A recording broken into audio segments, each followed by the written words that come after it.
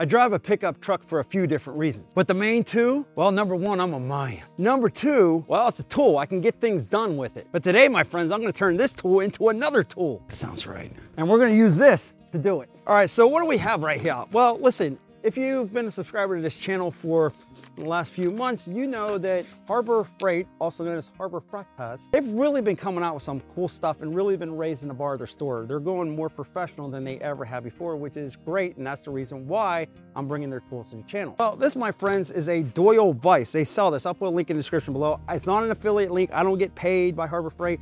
I don't make money from Harbor Freight, but I want to show you this because it's it's real nice like. Now, this looks like a basic vise that you would put on a bench top. And by the way, you can do that. On each side, you have this right here and well, this right here. So if you want to put this on a bench top, that's fine. You can do that. However, if you want to take this out in the field, now you can. When I started messing with this, I was like, okay, big deal. It's a vise, it's probably going to break, you know, within the first couple uses. If I take a sledge, put this down on that, you know, it ain't lasting long. And then I started reading specs, and that's the most impressive part. Even though this is really cool, let me tell you about this a little bit. Now, a lot of benchtop vices are made out of cast iron, so they're good for, you know, vicing things down.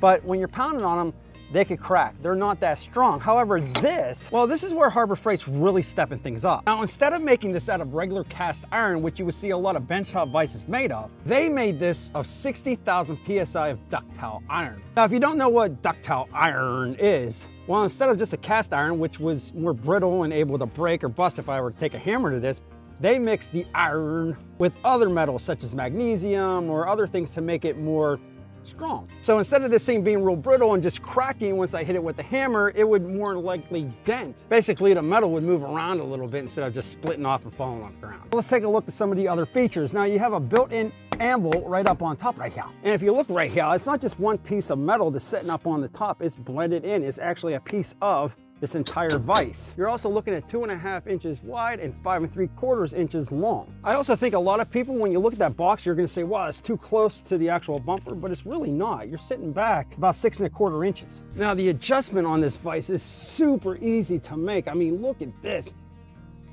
It is a very well-oiled machine. now this will expand out all the way up to your actual hitch. And in total, you have a maximum of five and three quarter inches of the jaw capacity. Now, I do like the machining on the jaws. They're not that aggressive, but they do have some grip. You also have a very, very large piece of metal right there, about a half inch thick on each side. Now, another cool thing about this is check this out. You have them on this side and you have it on this side. You got the smaller one up on top and the larger one down on the bottom. And what's cool about this is, well, make this down a little bit. That's for your pipe right there. Now to hold these pipes in comfortably, you can put in a half inch all the way up to three and a half inch worth of pipe on this right now. And now if I want to, I can cut my pipe or whatever I need to do while that's being held, while that's being held on the back of my truck. That's real nice.